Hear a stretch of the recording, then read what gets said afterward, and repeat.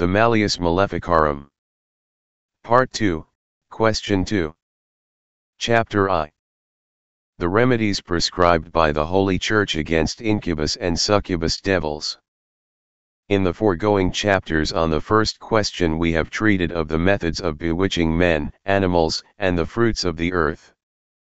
And especially of the behavior of witches in their own persons, how they seduce young girls in order to increase their numbers, what is their method of profession and of offering homage, how they offer to devils their own children and the children of others, and how they are transported from place to place. Now I say that there is no remedy for such practices, unless witches be entirely eradicated by the judges, or at least punished as an example to all who may wish to imitate them, but we are not immediately treating of this point, which will be dealt with in the last part of this work. Where we set forth the twenty ways of proceeding against and sentencing witches. For the present we are concerned only with the remedies against the injuries which they inflict, and first how men who are bewitched can be cured, secondly, beasts, and thirdly, how the fruits of the earth may be secured from blight or phylloxera. With regard to the bewitchment of human beings by means of incubus and succubus devils, it is to be noted that this can happen in three ways. First, when women voluntarily prostitute themselves to incubus devils. Secondly, when men have connection with succubus devils, yet it does not appear that men thus devilishly fornicate with the same full degree of culpability, for men, being by nature intellectually stronger than women, are more apt to abhor such practices. There is in the town of Koblenz a poor man who is bewitched in this way.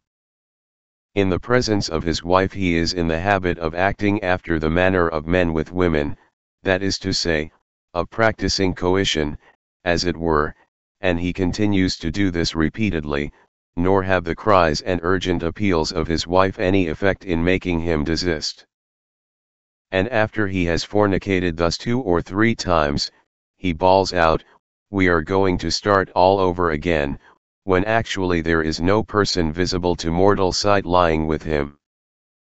And after an incredible number of such bouts, the poor man at last sinks to the floor utterly exhausted. When he has recovered his strength a little and is asked how this happened to him, and whether he has had any women with him, he answers that he saw nothing, but his mind is in some way possessed so that he can by no means refrain from such priapism. And indeed he harbors a great suspicion that a certain woman bewitched him in this way, because he had offended her, and she had cursed him with threatening words, telling him what she would like to happen to him but there are no laws or ministers of justice which can proceed to the avenging of so great a crime with no other warrant than a vague charge or a grave suspicion, for it is held that no one ought to be condemned unless he has been convicted by his own confession, or by the evidence of three trustworthy witnesses, since the mere fact of the crime coupled with even the gravest suspicions against some person is not sufficient to warrant the punishment of that person but this matter will be dealt with later. As for instances where young maidens are molested by incubus devils in this way, it would take too long to mention even those that have been known to happen in our own time, for there are very many well attested stories of such bewitchments. But the great difficulty of finding a remedy for such afflictions can be illustrated from a story told by Thomas of Brabant in his book on bees. I saw, he writes, and heard the confession of a virgin in a religious habit, who said at first that she had never been a consenting party to fornication, but at the same time have been known in this way. This I could not believe, but narrowly charged and exhorted her, with the most solemn adjurations, to speak the truth on peril of her very soul.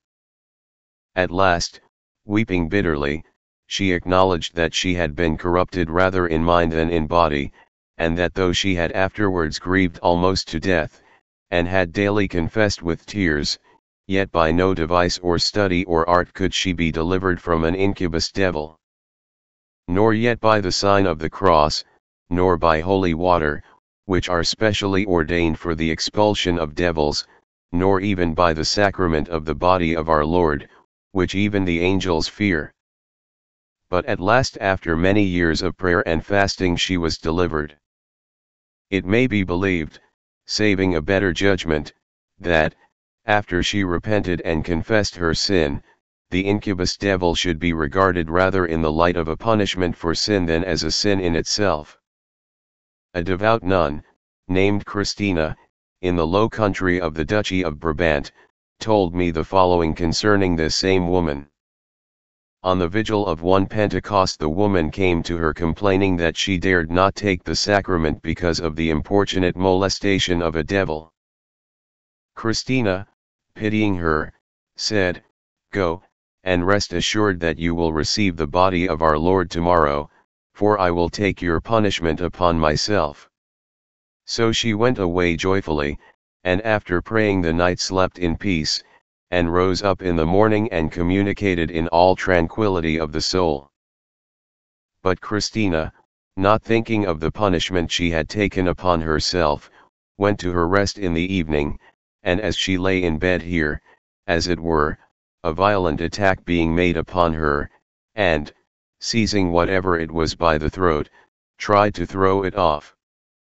She lay down again, but was again molested, and rose up in terror, and this happened many times, whilst all the straw of her bed was turned over and thrown about everywhere, so at length she perceived that she was being persecuted by the malice of a devil. Thereupon she left her pallet, and passed a sleepless night, and when she wished to pray, she was so tormented by the devil that she said she had never suffered so much before. In the morning, therefore, saying to the other woman, I renounce your punishment, and I am hardly alive to renounce it, she escaped from the violence of that wicked tempter. From this it can be seen how difficult it is to cure this sort of evil, whether or not it is due to witchcraft. However, there are still some means by which these devils may be driven away, of which Nider writes in his Formicarius.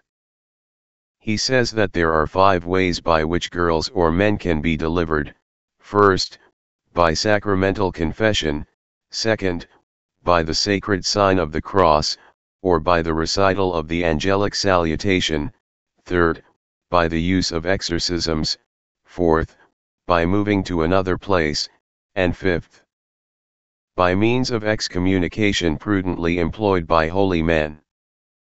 It is evident from what has been said that the first two methods did not avail the nun, but they are not on that account to be neglected, for that which cures one person does not necessarily cure another, and conversely. And it is a recorded fact that incubus devils have often been driven away by the Lord's Prayer, or by the sprinkling of holy water, and also especially by the angelic salutation. 4s. Caesarius tells in his dialogue that, after a certain priest had hanged himself, his concubine entered a convent, where she was carnally solicited by an incubus. She drove him away by crossing herself and using holy water, yet he immediately returned. But when she recited the angelic salutation, he vanished like an arrow shot from a bow, still he came back, although he did not dare to come near her, because of the Ave Maria. S. Caesarius also refers to the remedy of sacramental confession. For he says that the aforesaid concubine was entirely abandoned by the incubus after she was clean confessed. He tells also of a man in Leiden who was plagued by a succubus, and was entirely delivered after sacramental confession. He adds yet another example, of an enclosed nun, a contemplative, whom an incubus would not leave in spite of prayers and confession and other religious exercises. For he persisted in forcing his way to her bed. But when, acting on the advice of a certain religious man, she uttered the word benedicit, the devil at once left her. Of the fourth method, that of moving to another place, he says that a certain priest's daughter had been defiled by an incubus and driven frantic with grief, but when she went away across the Rhine, she was left in peace by the incubus. Her father, however, because he had sent her away, was so afflicted by the devil that he died within three days. He also maintains a woman who was often molested by an incubus in her own bed, and asked a devout friend of hers to come and sleep with her. She did so, and was troubled all night with the utmost uneasiness and disquiet, and then the first woman was left in peace. William of Paris notes also that incuba seem chiefly to molest women and girls with beautiful hair, either because they devote themselves too much to the care and adornment of their hair, or because they are boastfully vain about it. Or because God in his goodness permits this so that women may be afraid to entice men by the very means by which the devils wish them to entice men. The fifth method, that of excommunication, which is perhaps the same as exorcism, is exemplified in a history of S. Bernard. In Aquitaine a woman had for six years been molested by an incubus with incredible carnal abuse and lechery, and she heard the incubus threaten her that she must not go near the holy man, who was coming that way, saying, It will avail you nothing, for when he was gone away, I, who have till now been your lover, will become the cruelest of tyrants to you. None the less she went to S. Bernard, and he said to her, Take my staff and set it in your bed, and may the devil do what he can. When she had done this, the devil did not dare to enter the woman's room, but threatened her terribly from outside, saying that he would persecute her when S. Bernard had gone away. When S. Bernard heard this from the woman, he called the people together, bidding them carry lighted candles in their hands, and, with the whole assembly which was gathered, excommunicated the devil, forbidding him evermore to approach that woman or any other. And so she was delivered from that punishment. Here it is to be noted that the power of the keys granted to S. Peter and his successors, which resounds on the earth, is really a power of healing granted to the Church on behalf of travelers who are subject to the jurisdiction of the papal power, therefore it seems wonderful that even the powers of the air can be warded off by this virtue. But it must be remembered that persons who are molested by devils are under the jurisdiction of the Pope and his keys, and therefore it is not surprising if such powers are indirectly kept at bay by the virtue of the keys. Just as by the same virtue the souls in purgatory can indirectly be delivered from the pains of fire, inasmuch as this power availeth upon the earth, I, and to the relief of souls that are under the earth. But it is not seemly to discuss the power of the keys granted to the head of the church as Christ's vicar, since it is know that, for the use of the church, Christ granted to the Church and his vicar as much power as it is possible for God to grant to mere man. And it is piously to be believed that, when infirmities inflicted by witches through the power of devils, together with the witches and devils themselves, are excommunicated. Those who were afflicted will no longer be tormented, and that they will be delivered all the sooner by the use of other lawful exorcisms in addition. There is a common report current in the districts of the river Etsch, as also in other places, that by the permission of God a swarm of locusts came and devoured all the vines, green leaves and crops, and that they were suddenly put to flight and dispersed by means of this kind of excommunication and cursing. Now at any wish that this should ascribe to some holy man, and not to the virtue of the keys, let ie be so, in the name of the Lord, but of one thing we are certain. That both the power to perform miracles and the power of the keys necessarily presuppose a condition of grace in him who performs that act of grace, since both these powers proceed from grace granted to men who are in a state of grace.